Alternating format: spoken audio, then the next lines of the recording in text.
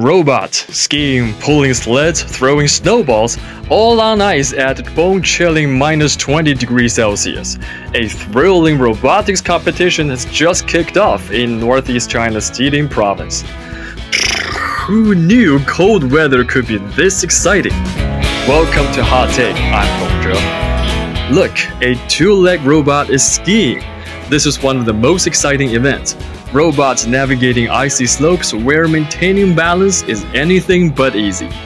The slippery surface demands constant adjustments as the robot must correct its path to stay on track. Next up, a four-legged robot is pulling a specifically designed sledge through a tough course. It must load cargo, navigate narrow gates, dodge cones, and unload at precise points, all while enduring the freezing temperatures. It's a true test of precision, planning, and adaptability.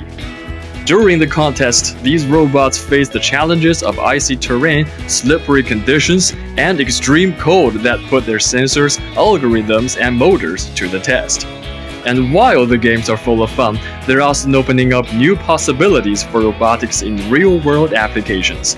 Who knows, these robots could one day help deliver goods across frozen areas, or assist with critical tasks in places too dangerous or remote for humans to reach.